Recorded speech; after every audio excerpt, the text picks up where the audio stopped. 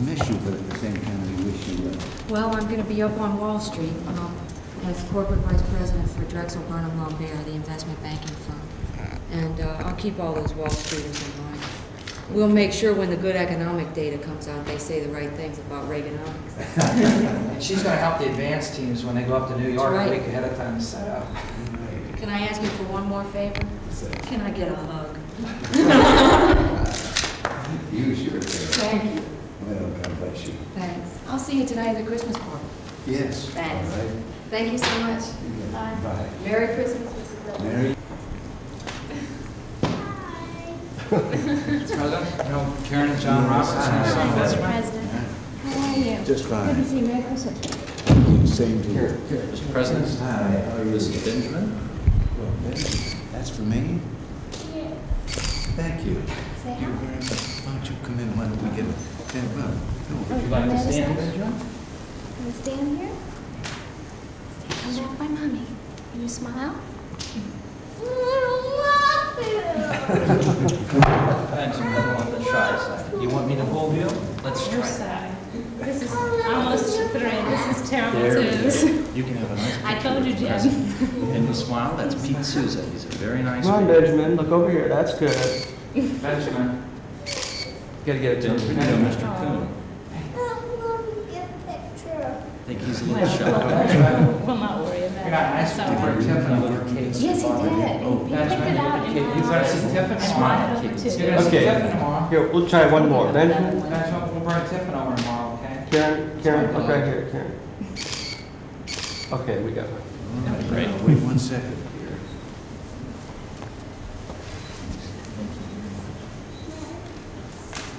Here's a, a present.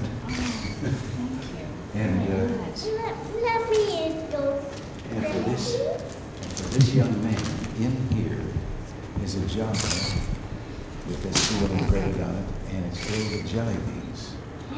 And just in case, just in case he can't wait till he gets the jar open, why, here's a little, Is that for me? that's for you. What do you say? No. That's thanks. All right.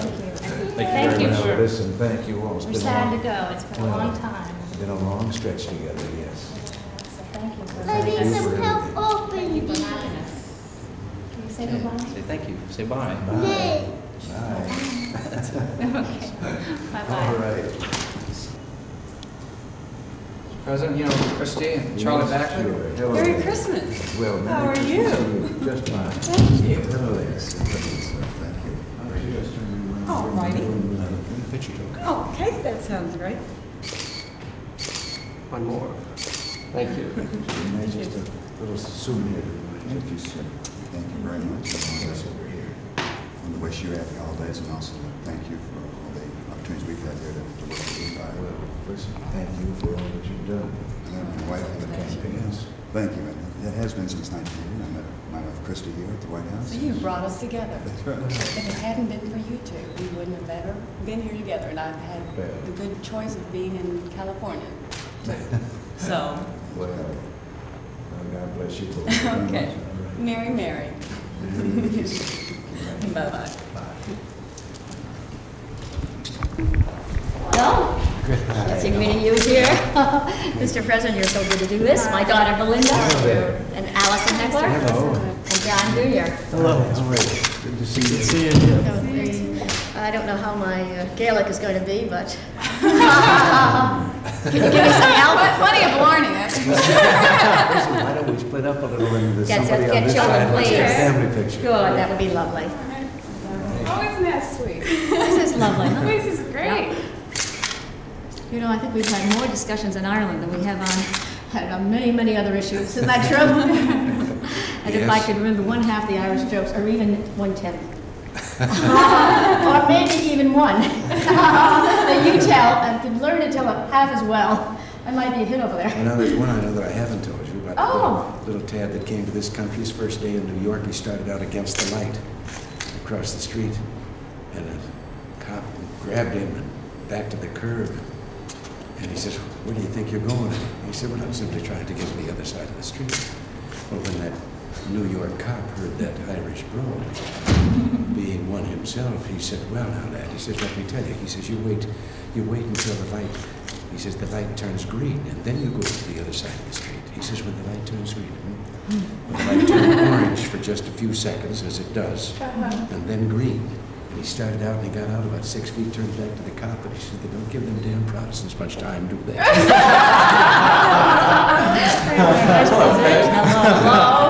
Twice in two days. The State Department, when she got to be official. Hi, John. Yes, we Good to had see you. about 500 people. Believe it? And you know that. But uh, they've all told me they're coming to Ireland. They'll help tourism. That was the beginning of the rebuilding. But you know, I want to have you as a guest. You told me that house is great, so come and enjoy it with me. I'm sure I'd like to have you. too. I hope that the day will come. So let's go. This is very nice. It's fun.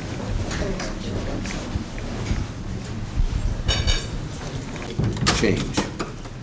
Untiring effort to save the government billions of dollars by implementing a successful Medicare hospital reimbursement system is outstanding. Americans can thank you also for your leadership in addressing the AIDS problem. You were also the driving force in mobilizing the business community to improve the lives of disabled Americans through high technology. And uh, this public-private partnership is a tremendous success. Now you're soon to be off on another difficult assignment, ambassador to Ireland. It's a place special to both of us, and unfortunately, it's a rather troubled island. And your assignment there now is important, particularly since the recent Anglo-Irish agreement on Northern Ireland. That you will be, as you've always been, an eloquent spokesman for peace and justice there. And I think probably the most appropriate way to wind up my remarks is to turn to the land of our forebears and in their tradition say, may the land, the, may the road rise beneath your feet, may the wind be always at your back and the sun shine warm upon your face. And until we meet again, may God hold you in the hollow of his hand. Mr.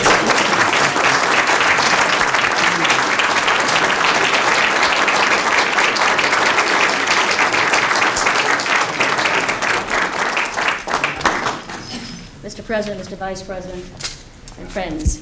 It's a very special moment for me to share this podium with you, Mr. President, and the greatest honor that I have yet experienced to take on a new assignment at your direction and under your appointment. It has been a privilege and an honor to serve you as Secretary of Health and Human Services. I served at a very unique time. I'm very proud of the record that we have accomplished there. Your record, Mr. President, because it was your leadership which actually devised our philosophy and our blueprint. And I think we showed Americans that we could be compassionate while, be while being conservative. And I think that was an important message to share. Now you have given me a new assignment, Mr. President. And if my mother were here, she'd say, wasn't it nice of himself to have such a lovely party for you?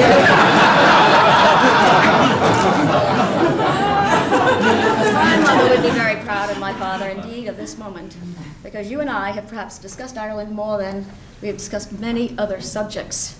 Of course, I will never bring to the Irish your gift of storytelling, but I will bring to them your interest in the resurgence of Ireland, its economic development, the concern for the people of Ireland as our friends and allies, and indeed our relatives, our kin. I feel very strongly that you send me to Ireland at a unique moment, a very historic time, a time of hope for reconciliation in the North. And I believe very strongly, Mr. President, that the Anglo Irish Accord would not have actually been negotiated had you not been prodding both sides and had you not had such a winning and effective, forceful relationship with Margaret Thatcher, whom I know you respect very much and I know respects you.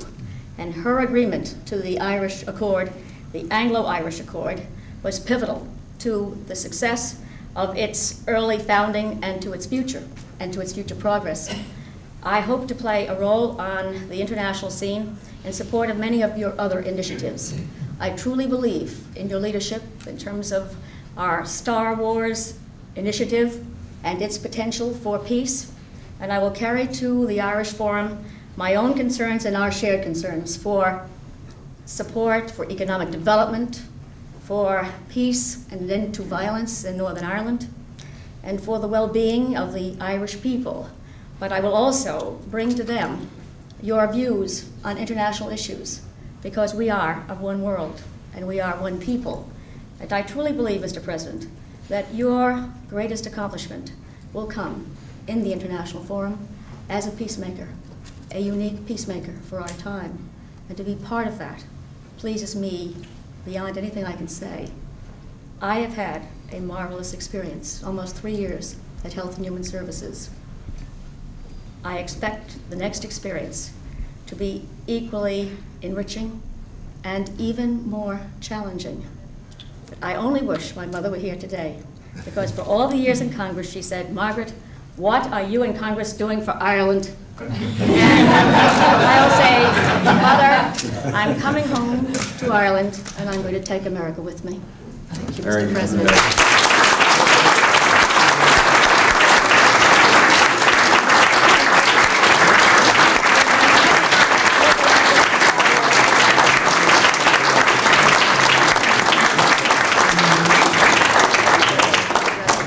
I had thought about some of those uh, old-fashioned glasses bearing the crest, and then I thought, in Ireland, no. Lydia glasses. We know that, don't we? I hope you can meet some of our friends, Mr. President. Yes, all I think these are some of the Republicans who have elected me for years and years and special friends. Well- So I don't, Well, pleased to say hello to all of you and to have you here. Mr. President. I just want to thank you. Thirty-nine and holding. Yes. It was freezing, it was freezing all morning, and then all of a sudden, the place warmed up, well, now I know why. Wait till February sixth. Well, happy birthday tomorrow. Thank you, very, thank you very much. This, this is a surprise for me. I thought I was having lunch with Paul. I came over to get fed. Well, it's gonna make You have to open that up, it cut for good luck. All right, I'm coming first one for Mary Craddock, and then we'll see. About a hundred people around here. Waiting for this. I'm afraid of the answer. I don't, yeah, man. Um, We, we were gonna ask you what you wish for, but we're afraid of the answer, so we won't. You know what I wish for. There we Are they go. still here?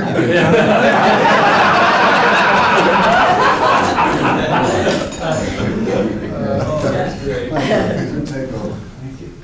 Oh, no, I, I, Uh, Open these? I hope the president's first. Open the presents first? Yeah. Ours is some fruit. Oh, you haven't? Oh. Yeah, I like the way you wrap it. Oh, that's right, everything done. Oh. Oh, Just what I needed. Two of your favorite things. Exactly. Thank you. Could I suggest that you open the gift and then read the note that goes with it? Uh, Sorry. Push it, you know me. Open mine first, it was mine first. The vice president's hungry for a piece of cake. No, I'm not. I, I, I haven't had lunch, I'm gonna come on this. Vice President's observing the diet. I know it's that really, deli- anybody's wavering, it's that really delicious light cake that they make here. You almost blew it off the table, so we know. You've been deprived as a youth of your visit- your birthday this close to Christmas or not? I think you're. Don? What? You've been deprived as a Very, youth very true. Christmas You close to your hold it up. birthday? And and I think if you read the note that goes with it, it'll all make sense. That's right. It- it- it, uh, She is. Here, this is being hospitable. Is it marvelous or? It's white chocolate. It's, it's a code. Yes. Here you go, Jim. Okay, reading time. Enclosed, please find the lady of Republican lines most fitting. A meddler not in things politic, she'd rather do your bidding. It's not, if it's hot you want, it's hot she's got. A soothing cool for fevered brow. In better office, couch or chair, at night and daytime's glare, she questions not your viewpoint aired, only when and how, not where. Uh, No arcane talk of throwaway, or comparability of tanks, of injured comment to inveigh about effects on feminine party ranks. In short, she is the perfect partner. Too bad, we're not all like her. Very good, very good. And you put a hot water bottle in Listen, there? That's bottle? Ellie Fun. Uh, she's a hot water bottle, and you lift up her beak and you can fill it. Excuse me?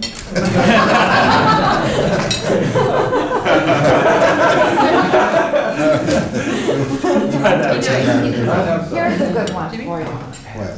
This is From your staff to help you out. I'll take the next one. from my staff. From your staff. You don't want it. That that ought to be something.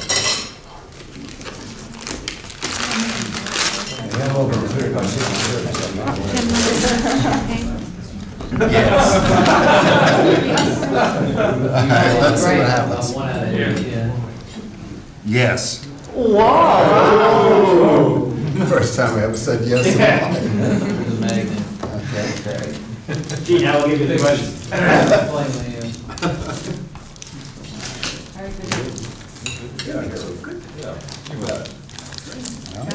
Somebody wraps things tightly.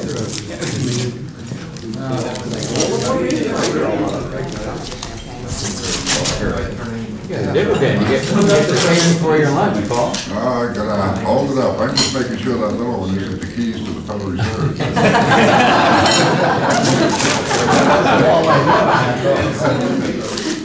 Wow. Some napkins with a sign on golf rule number one, don't stand too close to the ball after you hit it. Golf rule number two, just one shot makes you better than the rest. Very good, very clever. Is this the one you worried about, Paul? Universal timer, just what I wanted. It is. Uh, Seriously, this is a universal clock. It Tells you the time no matter where where you are in the world.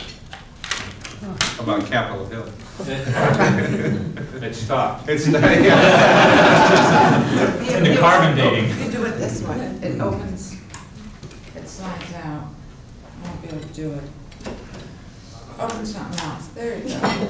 Wow. See, it slides out like that and then sits there. And then you dial up wherever you want. Oh, then you dial whatever you want for the.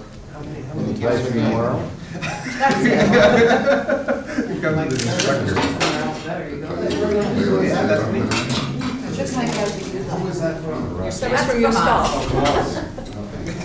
Thank you, us. you not, you not only get batteries, you get Kathy who explains how they. A new one of these, I don't, I'm still using my old one from Treasury, so they, they gave me a new one. My daily schedule in the White House pass. Very nice, thank you.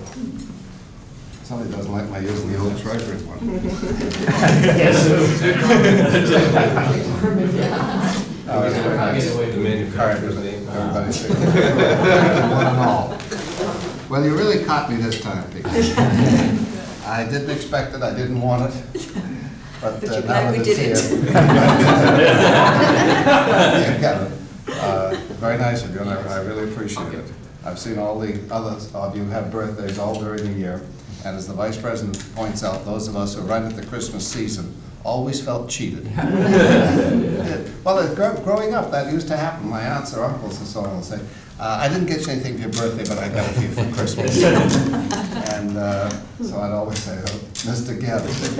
And then when I heard where royalty in England, you know, uh, have their birthdays in the middle of the summer period, so it could be celebrated, I thought, ha-ha, there's the right idea, maybe I can do that, but I was persuaded by my family, no thanks. So I've always uh, been lured with December 21st, but one final note.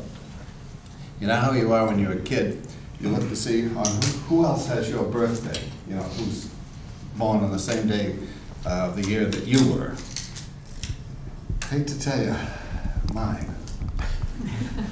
Joseph Stalin.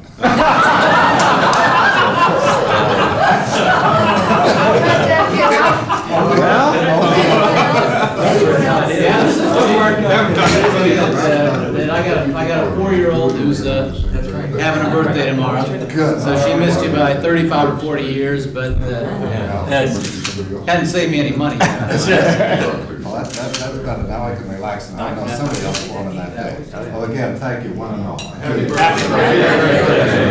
you. You know, I have to tell you one thing. Since Eisenhower, we haven't had anyone around here you know, was golfing enough that you could tell stories about it. But uh, you do know, as a golfer, one day the tee he sliced out onto the street, It was out there, and it hit a car. And when he got down there, there was a policeman waiting with his ball. And uh, said the car you hit was a police car. He said, uh, gave him the ball back, and he said, what are you gonna do about it? And Don said, well, I figured if I roll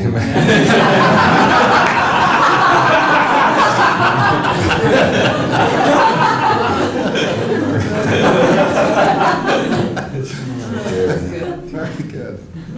Well, I'll let all of you go back to your luncheon, and I'll take my guests back to luncheon with me. And Again, thank you all. Really, Happy it birthday. Did surprise me. Happy birthday, Happy birthday. Merry Christmas. Yeah, these are your Christmas gifts. Yes. Merry Christmas, Mr. President. All right. I'll the keys. It's Friday, go ahead. If your throats are dry, they're good. I have one of these. No, I've, I've got to work this afternoon. Me too. Okay.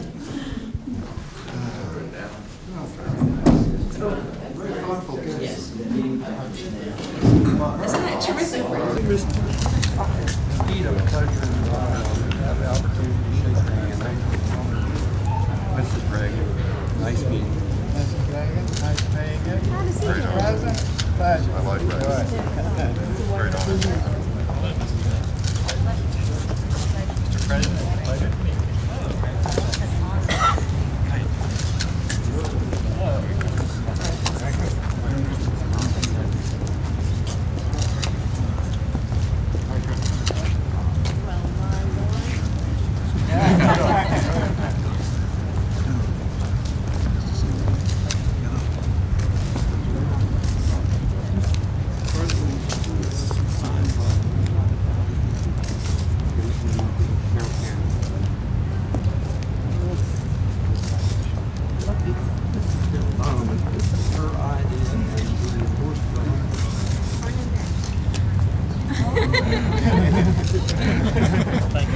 Mr. President! Did you and Secretary Shultz make up? What are you talking about contract? Mr. President, did you try to change Secretary Shultz's mind about lie detector tests? Not at all. I just explained to him that what he'd read in the press in Europe was not true. Do you think he feels better? Yep. Will he have to take one? Neither one of us are going to. Mr. President, It's indeed an honor and a privilege and a pleasure to be here today with you and to present this card on behalf of the citizens of the city of Westminster to you and Mrs. Reagan. You know, there's something special on this card, peace. And I think that you deserve that word more than any individual that I can think of. And I think with your communication, being able to communicate with people throughout the world, that we're going to have a long-lasting peace. And I think that your idea of having a, a strong country is great. And Mr. President, I wish you a very Merry Christmas. I really do. And uh, God bless you. And Mr. Reagan, you have done a lot for me. I'm aware of that. Well, Mr. Mayor and all of you, we are so grateful and honored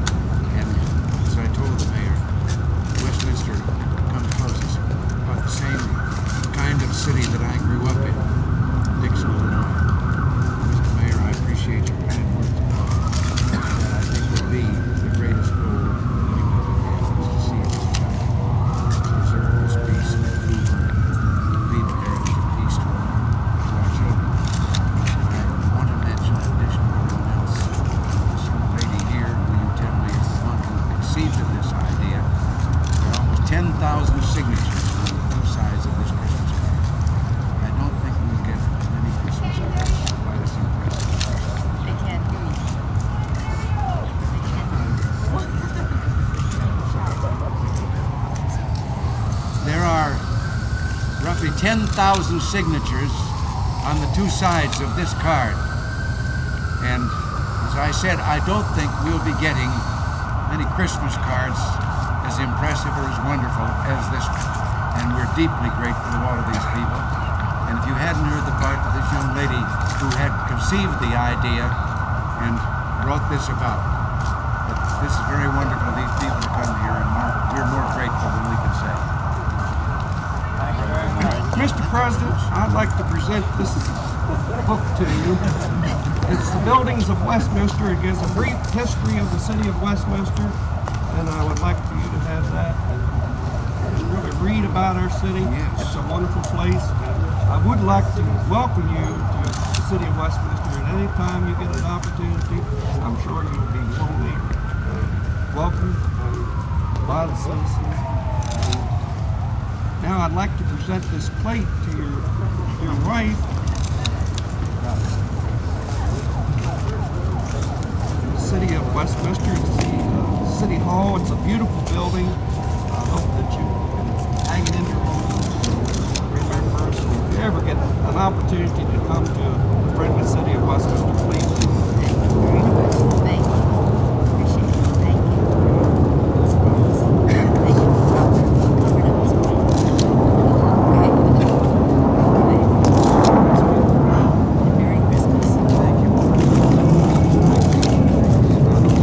Have a very Merry Christmas. and Happy and healthy New Year. I know that what you've done for this country, the citizens of Westminster realize, and I just hope you keep on doing it. Thank you.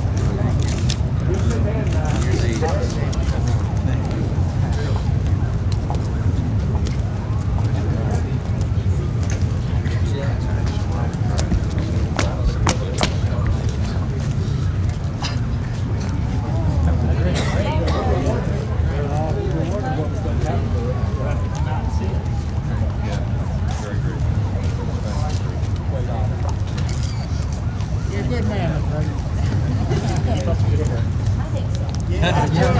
We all do. Very good, President. Thank you. I just told her.